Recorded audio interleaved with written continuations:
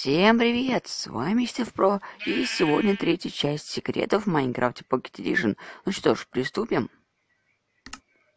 Ну, первый секрет включается в овечках. Если скрестить две разных овечек, то у них родится рандомный, так сказать, сын или дочка.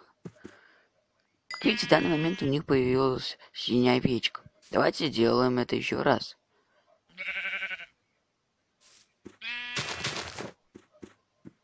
Кормим. И как видите, у них появляется уже красный детеныш. Второй секрет заключается в, в огненных стрелах. Если огненной стрелой попасть под динамиту, то этот динамит активируется. Так, сейчас я попал обычной стрелой. Так, опять. Давайте попробуем так. И как видите, наш динамит взрывается. Третий секрет заключается в Эндерманах. Если в Эндерман попасть стрелой, то это, можно сказать, практически невозможно, так как, когда вы стрелой, то он начинает телепортироваться.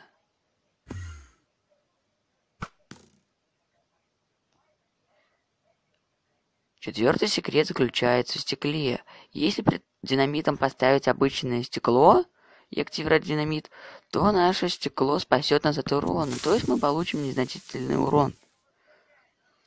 Вот как видите, мы получили урон в размере пол сердца. Пятый секрет заключается в обычном мире.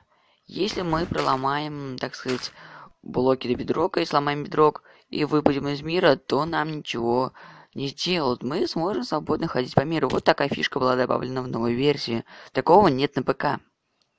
И здесь мы можем увидеть, так сказать, половину карты.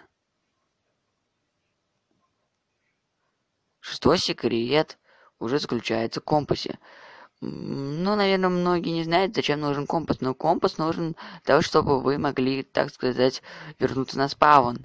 Компас определяет место вашего спавна.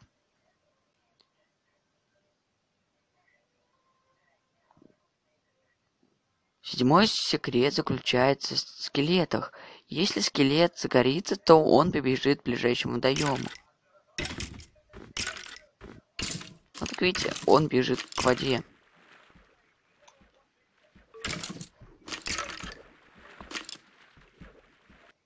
Восьмой секрет заключается в заборах.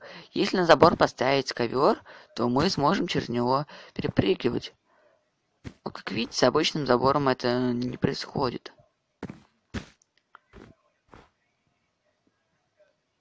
Девятый секрет заключается в стрелах и, так сказать, в вагонетках. Если стрелой попасть по лодке или в вагонетке, то она сломается. И да, она сломается и не дропнется.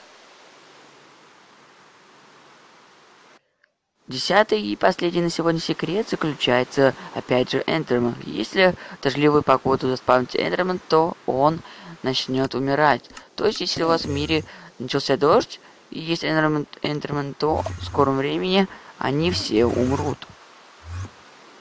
Как видите, он сейчас маленько бакает. Вот. Ну, все, они вроде пропали. Что ж, на этом все. Ставьте лайки и подписывайтесь на канал. А также, чтобы вышла четвертая часть, давайте наберем 35 лайков.